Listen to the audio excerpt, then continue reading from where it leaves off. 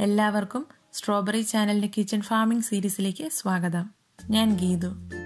നമ്മൾ കടയിൽ നിന്നും വാങ്ങുന്ന നാരങ്ങയിൽ നിന്നും വീട്ടിൽ എങ്ങനെ ഒരു നാരകം വളർത്തിയെടുക്കാമെന്നാണ് ഇന്ന് കാണിക്കുന്നത്.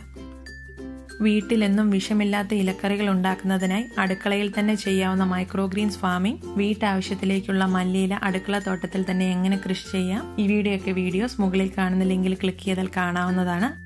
വീഡിയോയിലേക്ക് കടക്കുന്നതിന് മുന്നേ നിങ്ങൾ ഈ ചാനൽ ആദ്യമായാണ് കാണുന്നതെങ്കിൽ സബ്സ്ക്രൈബ് ചെയ്യാൻ മറക്കരുത്. അതുപോലെ തന്നെ നിങ്ങൾക്ക് ഈ വീഡിയോ ഇഷ്ടമായാൽ നിങ്ങളുടെ ഫ്രണ്ട്സും ഫാമിലിയുമായി ഷെയർ ചെയ്യാനും മറക്കരുത്. അതിനായി നല്ലൊരു ലെമൺ എടുക്കാം. അത് നടുവേ ഒന്ന് മുറിക്കാം. ഇനി ഇതിൽ നിന്നുമുള്ള സീഡ്സ് എടുക്കാനായി ഒരു സ്ക്വീസർ ഉപയോഗിച്ച് ഒരു പകുതി ഭാഗം നമുക്ക് പിഴിഞ്ഞെടുക്കാം. ഇത് നിറയെ കുരുവുള്ള ഒരു നാരങ്ങയായിരുന്നു. ഇതിലെ എല്ലാ കുരുവും നമുക്കിതിൽ കിട്ടിയിട്ടുണ്ട്.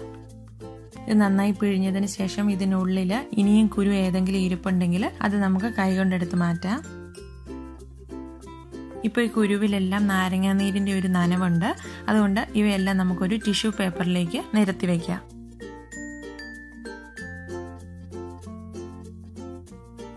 ഈ കുരുവെല്ലാം ടിഷ്യൂ പേപ്പറിലൊന്ന് തുടച്ചെടുത്താൽ ഉടനെ തന്നെ ഉണങ്ങി കിട്ടും.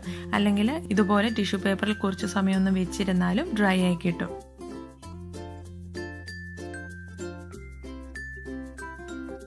ഇപ്പോൾ ഡ്രൈ ആയിരിക്കുന്ന ഈ കുരു ഓരോന്നായി എടുത്ത് അതിന്റെ പുറംഭാഗത്തുള്ള കട്ടിയുള്ള തൊലി ഒന്ന് പൊളിച്ചു കളയാം. മെലിഞ്ഞിട്ട് നീണ്ടു നിൽക്കുന്ന ഭാഗത്ത് നിന്നുമാണ് കട്ട് ചെയ്ത് തുടങ്ങേണ്ടത്. അവിടുന്ന് കട്ട് ചെയ്യാനാണ് നമുക്ക് കൂടുതൽ എളുപ്പം.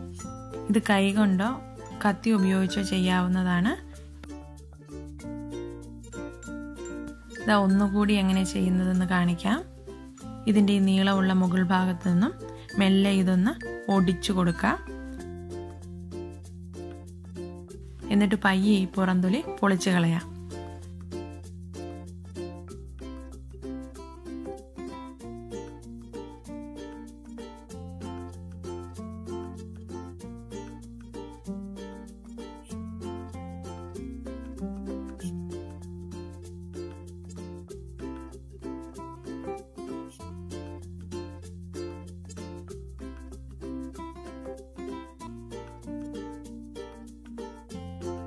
ഇനി കൈകൊണ്ട് ചെയ്യാൻ ബുദ്ധിമുട്ടുള്ളവർക്ക് ഇത് കത്തി കൊണ്ട് വേണമെങ്കിലും ചെയ്യാം. അങ്ങനെ ആകുമ്പോൾ ഇതിന്റെ ഈ മുകൾ ഭാഗത്തായി കത്തി ചെറുതായി പ്രസ് ചെയ്ത് ഇറക്കി അത് അവിടെ നിന്ന് ഒന്ന് വിടർത്തി ഇതുപോലെ പൊളിച്ചെടുക്കാവുന്നതാണ്.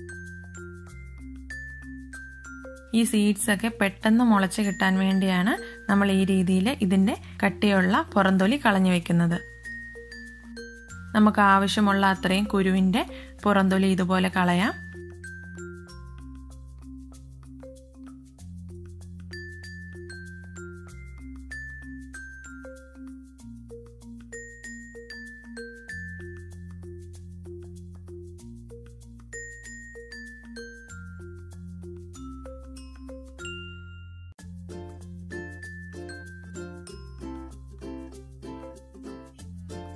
ഇനി ഇവയെല്ലാം ഒരു ടിഷ്യൂ പേപ്പറിൽ അറേഞ്ച് ചെയ്ത് വെച്ച് ഒരു സ്പ്രേ ബോട്ടിൽ ഉപയോഗിച്ച് ഇതിൽ നന്നായി ഒന്ന് വെള്ളം ഒഴിച്ചു കൊടുക്കുക.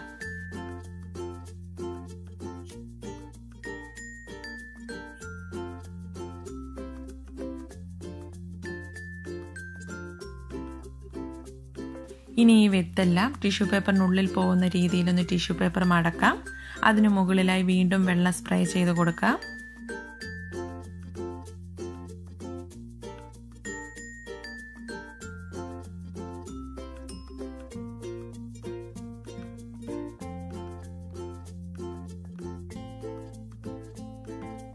ഇനി ടിഷ്യൂ പേപ്പർ പൂർണമായി മടക്കി വെള്ളം സ്പ്രേ ചെയ്ത് കൊടുത്ത് ടിഷ്യൂ പേപ്പർ നന്നായി കുതിർന്നതിന് ശേഷം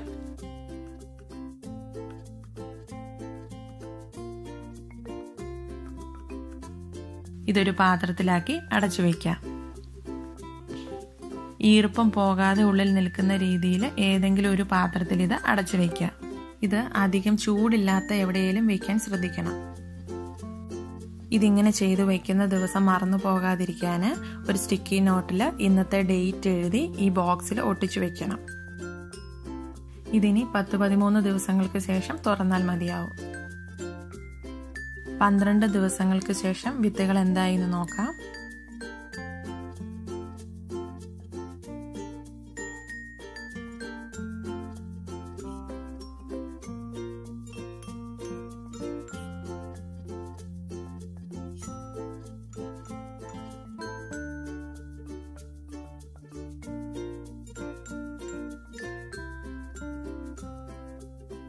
വെച്ചിരുന്ന വിത്തുകളിൽ പകുതിയോളം വിത്തുകൾക്കും വേര് വന്നിട്ടുണ്ട്.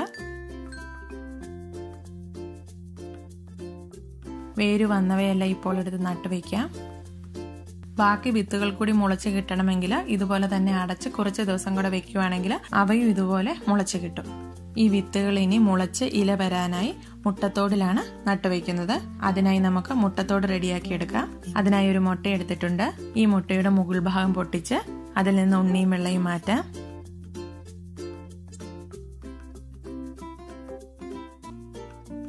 മുട്ട മുഴുവനായി ഉടഞ്ഞു പോകാതെ വളരെ സൂക്ഷിച്ചു വേണം ഇത് ചെയ്യാൻ.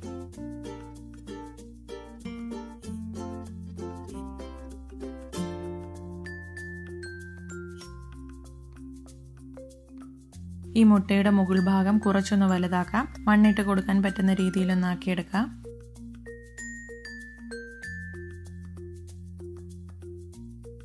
ഇനി മുട്ടയുടെ അടിഭാഗത്തായി ഒരു ഹോൾ ഇടണം. ഇതിൽ വെള്ളം ഒഴിച്ചു കൊടുക്കുമ്പോൾ അത് കെട്ടിക്കിടക്കാതിരിക്കാൻ വേണ്ടിയാണ്. ഒരു സ്ക്രൂ ഡ്രൈവറോ ആണിയോ അങ്ങനെ എന്തെങ്കിലും പോയിന്റഡ് ആയിട്ടുള്ള ഒരു സാധനം വെച്ച് ഇതിലൊരു ഹോൾ ഇട്ട് കൊടുക്കാം.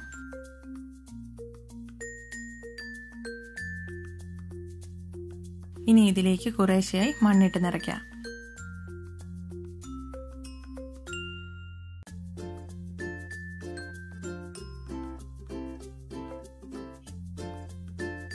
മുട്ടത്തോട് നിറയെ തന്നെ മണ്ണിട്ട് കൊടുക്കാം.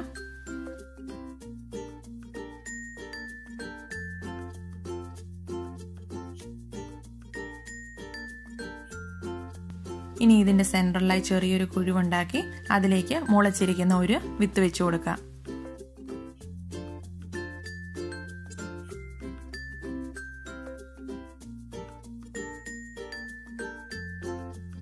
ഇനി ഇത് മണ്ണിട്ടൊന്ന് നികത്തി ഇതിലേക്ക് കുറച്ച് വെള്ളം സ്പ്രേ ചെയ്ത് കൊടുത്ത് മുളയ്ക്കാനായി മാറ്റിവെക്കാം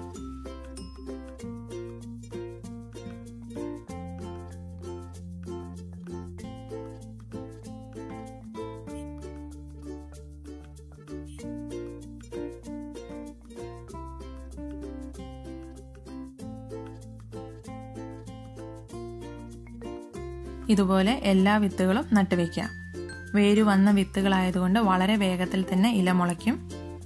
എല്ലാ ദിവസവും ഇതിൽ വെള്ളം സ്പ്രേ ചെയ്ത് കൊടുക്കാൻ ശ്രദ്ധിക്കണം. ഇതിപ്പോൾ വിത്ത് നട്ട അഞ്ച് ദിവസങ്ങൾക്ക് ശേഷമുള്ള ഒരു നാരങ്ങയുടെ തൈയാണ്. ഇലകൾ വന്നിട്ടുണ്ട്. നല്ല ആരോഗ്യമുള്ള ഒരു തൈയായി തന്നെ വളർന്നുകൊണ്ടിരിക്കുന്നു. ഇത് പത്ത് ദിവസം കഴിഞ്ഞിട്ടുള്ള വിത്തിന്റെ അവസ്ഥയാണ്.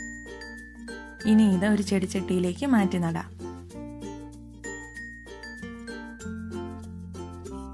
അതിനായി ഹോളുള്ള ഒരു ചെടിച്ചട്ടി എടുക്കാം. ഈ ചട്ടി നിറയെ പോട്ടിംഗ് മിക്സ് നിറയ്ക്കാം. ഞാനിവിടെ ഉപയോഗിച്ചിരിക്കുന്ന ഈ പോട്ടിംഗ് മിക്സ് ഞാൻ കടയിൽ നിന്നും വാങ്ങിയിട്ടുള്ളതാണ്. ഇനി ഇതിന്റെ നടുഭാഗത്തായി ഒരു കുഴി ഉണ്ടാക്കാം. ഇതിലേക്ക് മുട്ടത്തോടിൽ മുളച്ചു നിൽക്കുന്ന നാരകം നട്ടുവയ്ക്കാം മുട്ടത്തോടൊന്ന് പ്രസ് ചെയ്ത് ഉടച്ച് ഇതിലേക്ക് വെച്ചു കൊടുക്കാം.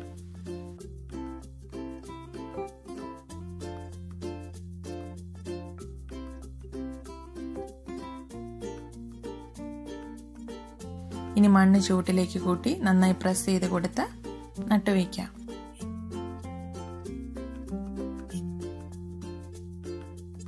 ഇനി ഇതിലേക്ക് വെള്ളം സ്പ്രേ ചെയ്ത് നനച്ചു കൊടുക്കാം.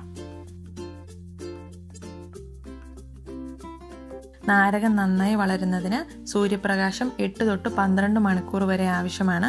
അതുകൊണ്ട് നല്ലപോലെ വെയിൽ കിട്ടുന്ന എവിടെയെങ്കിലും വെച്ചിത് വളർത്തിയെടുക്കാം. ഇത് ചെടിച്ചട്ടിയിൽ വളർത്തണമെന്ന നിർബന്ധമില്ല. മണ്ണ് സ്ഥലവുമുള്ളവർക്ക് സൂര്യപ്രകാശം കിട്ടുന്ന നല്ലൊരു സ്ഥാനം കണ്ടുപിടിച്ച് ഇത് നടാവുന്നതാണ്.